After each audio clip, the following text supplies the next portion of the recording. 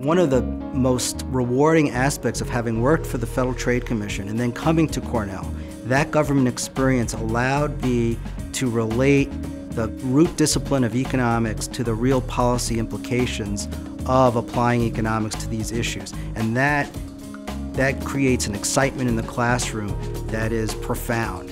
Let's say you're reading U.S. News and World Report, or you're reading Time or Newsweek, and you're going through the pages and you'll see an ad for a cigarette.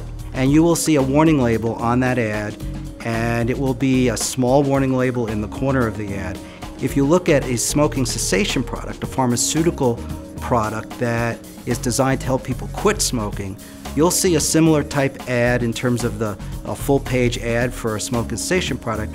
But if that product is a prescription only product, it requires a full page of risk disclosures. So we've created a regulatory system in the United States where it's twice as expensive to advertise a smoking cessation product than a cigarette.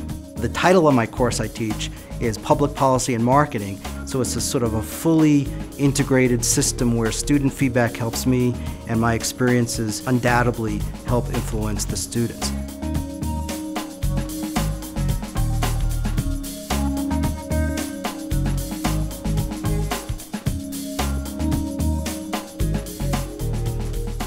My name is Alan Mathios. I'm an economist and the Rebecca Q. and James C. Morgan Dean of the College of Human Ecology at Cornell University.